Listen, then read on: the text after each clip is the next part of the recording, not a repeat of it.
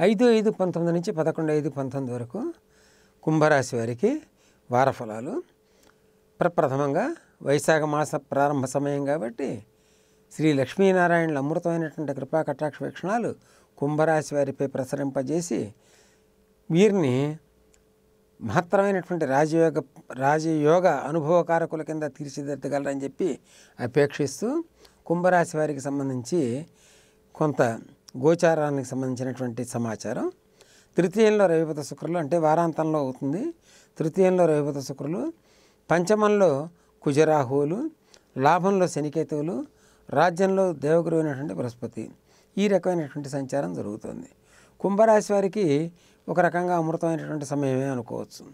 ఇటువంటి అమృతమైనటువంటి సమయాన్ని మహత్తరమైనటువంటి రాజయోగ సమయాన్ని ఇంకా విశేషమైనట్టుగా తీర్చిదిద్దుకోవాలి అంటే చేయగలిగేది ఏమిటంటే అక్షయ తృతీయ రోజున ప్రత్యేకించి ఏడవ తారీఖున దశదానాలు అవకాశం ఉన్నన్ని ఒకవేళ దశదానాలు చేయగలిగే అవకాశం లేనటువంటి వాళ్ళు ఆ రోజున బంగారం కొనటం బంగారాన్ని తీసుకొచ్చినటువంటి కొ- ఇంటికి తెచ్చినటువంటి కొత్త బంగారాన్ని దానికి పంచోపచార పూజలు చేయటం అమ్మవారి కింద భావించి పంచోపచారాలు పూజలు చేయటం ఇంకా పూజానంతరం అవకాశం ఉన్నవారు పాదుకాదానం ఛత్రదానం అంటే చెప్పులు గొడుగు ఉదకుంభదానం అంటే ఘటదానం జలదానం ఇటువంటివన్నీ కనుక చేయగలిగినట్టయితే ఒకటి రెండు అని కాకుండా ఎంత అవకాశం ఉంటే విశేషమైనటువంటి దానాలు కుంభరాశి వారు కనుక చేసినట్టయితే ఆ రోజున చేసినటువంటి దానాలు అక్షయమైనటువంటి పుణ్యాన్ని ప్రసాదిస్తాయి.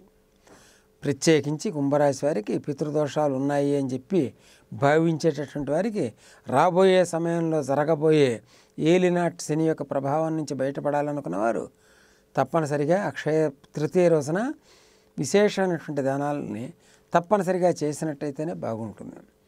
ఆ కారణం చేత ఇప్పుడు వర్తమానంలో బాగున్న సమయాన్ని భవిష్యత్తులో కూడా దీన్ని పొడిగించుకునే అవకాశాన్ని భగవంతుడు ప్రసాదిస్తున్నాడు. అదొకటే కాకుండా గంగోత్పత్తి సమయం అంటే పదకొండవ తారీఖున గంగా అంటే గంగా జలానికి సంబంధించినటువంటి చిన్న చిన్న డబ్బాలు సీసాలు దొరుకుతూ ఉంటాయి. అంటే కాశీ గంగ అంటూ ఉంటాం. గంగా జలానికి సంబంధించినటువంటి పూజలు చేసి గంగా జలాన్ని దానం ఇవ్వటం.